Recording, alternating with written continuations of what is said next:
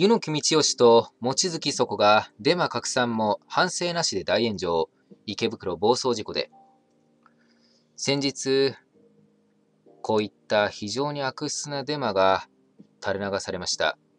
それに対して、湯野木道義さんがこのようにデマを拡散し、デマだと指摘を受けた後も、こういった発言をして一切反省をしておりません。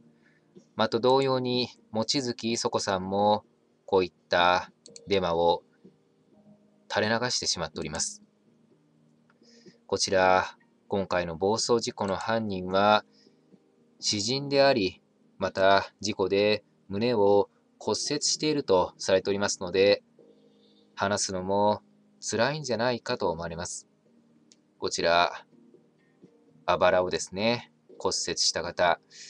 わかると思うんですが、お分かりいただけると思うんですが、ものすごく痛いんです。そういった中で、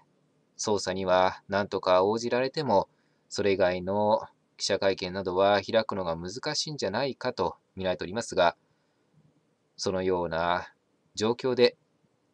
今回ですね、こういった悪質なデマの拡散に、猪木道義さんや記者である望月磯子さんが関わってしまい、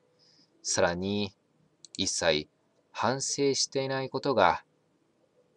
確認できます。猪木道義さんや望月磯子さんには、今回のデマについて、しっかりとデマであると、改めて発言をしていただき、これ以上ですね、こういったデマが拡散しないように協力していただくようお願いいたします。以上になります。ご清聴いただきありがとうございました。